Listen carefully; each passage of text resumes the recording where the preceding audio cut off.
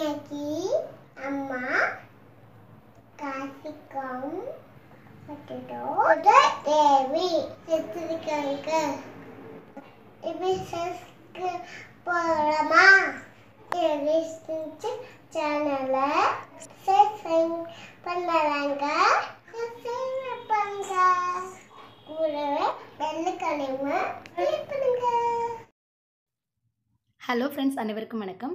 இன்றைக்கி நம்ம சேனலில் கேப்சிகம் பொட்டேட்டோ கிரேவி சப்பாத்தி பூரிக்கெல்லாம் சைட் டிஷ் தான் நம்ம பார்க்க போகிறோம் அதுக்கு தேவையான பொருட்கள் என்னென்னு பார்க்கலாம் வாங்க. ஒரு டேபிள் ஸ்பூன் சோம்பு ரெண்டு பெரிய வெங்காயம் ரெண்டு பச்சை மிளகாய் ரெண்டு தக்காளி பழம் கட் பண்ணி வச்சுருக்கிறது. இஞ்சி பூண்டு பேஸ்ட் ரெண்டு டேபிள் ஸ்பூன் கருவேப்பிலை கொத்தமல்லி தேவையான அளவு ரெண்டு பெரிய உருளைக்கிழங்கு வேக வச்சு கட் பண்ணி வச்சுருக்கிறேன். ரெண்டு பெரிய கேப்சிகம் வாங்க இப்போ எப்படி செய்யலான்னு பார்க்கலாம். ஒரு கடாய் வச்சுட்டு கடாய் நல்லா சூடானதும் தேவையான அளவு எண்ணெய் சேர்த்துக்கலாம். எண்ணெய் நல்லா காஞ்சதும் ஒரு டேபிள் ஸ்பூன் அளவு சோம்பு சேர்த்துக்கலாம். சோம்பு நல்லா பொரிஞ்சதும் நம்ம எடுத்து வச்சுருக்க கருவேப்பிலையும் வெங்காயம் ஆட் பண்ணி நல்லா வதக்கிடலாம். வெங்காயம் நல்லா பொன்னிறமாக வதங்கினதும் நம்ம எடுத்து வச்சுருக்கிற ரெண்டு டேபிள் ஸ்பூன் அளவு இஞ்சி பூண்டு பேஸ்ட்டையும் சேர்த்து நல்லா வதக்கிடலாம் பச்சை வாசம் போகிற அளவுக்கு. இது கூட நம்ம கட் பண்ணி வச்சுருக்க குடைமிளகாயும் சேர்த்து நல்லா வதக்கிடலாம். இப்போ குடைமிளகாய் வதங்குறதுக்கு தேவையான அளவு உப்பு சேர்த்துக்கலாம். உப்பு சேர்த்து நல்லா வதக்கி விட்டுட்டு ஒரு ரெண்டு நிமிஷம் மூடி போட்டு வேக விட்டுறலாம். இப்போ மூடி எடுத்துட்டு நல்லா ஒரு தடவை எல்லாத்தையும் மிக்ஸ் பண்ணி விட்டுறலாம்.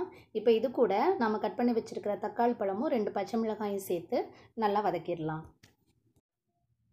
தக்காளி பழம் பச்சை மிளகாய் குடைமிளகாய் எல்லாம் நல்லா வதங்கிட்டு இருக்கும்போது நாம் இது கூட கால் டீஸ்பூன் அளவு மஞ்சள் தூள் ஒரு ரெண்டு டேபிள் ஸ்பூன் அளவு மிளகாய்த்தூள் சேர்த்துக்கலாம். ஏன்னா இது கொஞ்சம் காரமாக இருந்தால் தான் நல்லாயிருக்கும். அதனால் ரெண்டு டேபிள் ஸ்பூன் அளவு மிளகாய்த்தூள் அரை டேபிள் ஸ்பூன் அளவு கரம் மசாலா தூள் அரை டேபிள் ஸ்பூன் அளவு மல்லித்தூள். எல்லாம் சேர்த்து நல்லா மிக்ஸ் பண்ணி விட்டுடலாம் இதெல்லாம் நல்லா மிக்ஸ் பண்ணி விட்டுட்டு இது கூட இப்போ உருளைக்கிழங்கு ஆட் பண்ணணும்.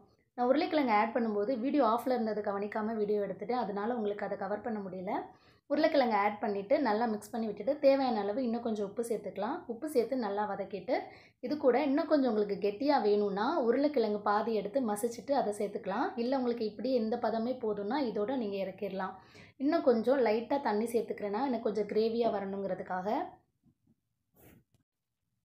கடைசியாக கொத்தமல்லி இலை தூவி இறக்கிடலாம். இப்போ நான் இதை ஒரு பவுலுக்கு ட்ரான்ஸ்ஃபர் பண்ண போகிறேன் அவ்வளோதான் நம்மளோட கேப்சிகம் பொட்டேட்டோ கிரேவி ரெடி ஆயிடுச்சு. நீங்களும் இதை வீட்டில் செஞ்சு பாருங்கள் செஞ்சு பார்த்துட்டு எப்படி இருந்துச்சுன்னு கமெண்ட்டில் சொல்லுங்கள் சப்பாத்தி பூரிக்கு சூப்பர் சைட் டிஷ்ஷாக இருக்கும் இது. இந்த வீடியோ உங்களுக்கு பிடிச்சிருந்தா லைக் பண்ணுங்கள் ஷேர் பண்ணுங்கள் தேங்க்யூ